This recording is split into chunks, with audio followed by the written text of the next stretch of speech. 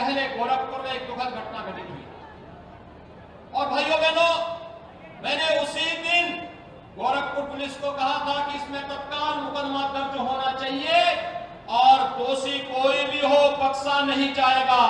अपराधी अपराधी होता है।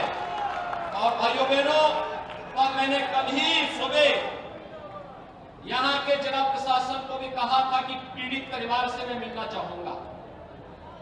क्योंकि एक दुखद घटना घटित हुई और उसकी पीड़ा के साथ जुड़ना हमारा दायित्व है। और इसके लिए जो भी दोषी होगा, कोई बख्शा नहीं जाएगा और सबकी जवाबदेही भी तय करेंगे।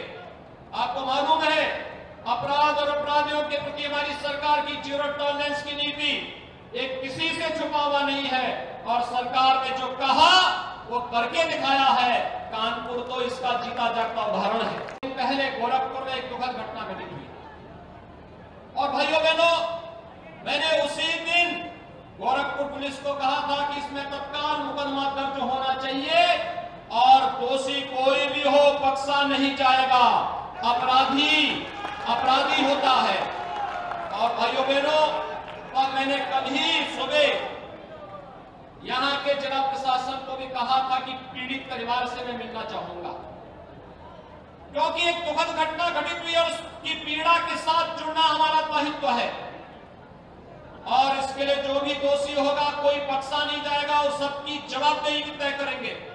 आपको मालूम है, अपराध और अपराधियों के प्रति हमारी सरकार की ज़ीरो टॉलरेंस की नीति एक किसी से छुपा हुआ नहीं है और सरकार ने जो कहा, वो करके दिखाया है।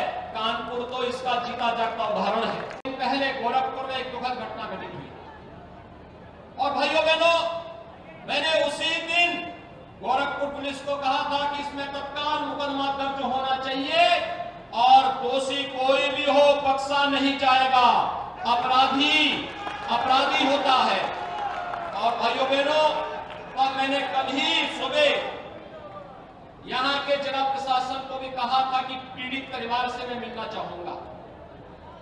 क्योंकि एक दुखद घटना घटित हुई है, उसकी पीड़ा के साथ जुड़ना हमारा दायित्व है।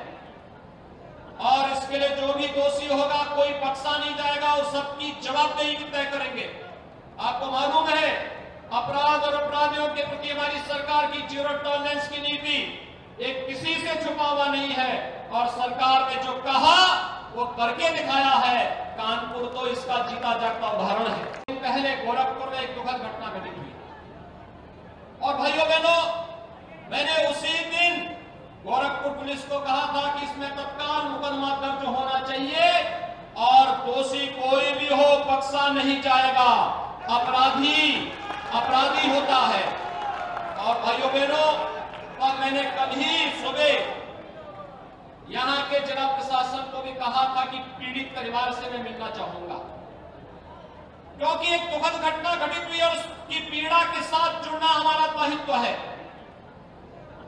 इसके लिए जो भी दोषी होगा, कोई बख्शा नहीं जाएगा और सबकी जवाबदेही भी तय करेंगे। आपको मालूम है, अपराध और अपराधियों के प्रति हमारी सरकार की ज़ीरो टॉलरेंस की नीति एक किसी से छुपा हुआ नहीं है। और सरकार ने जो कहा, वो करके दिखाया है। कानपुर तो इसका जीता जागता उदाहरण है।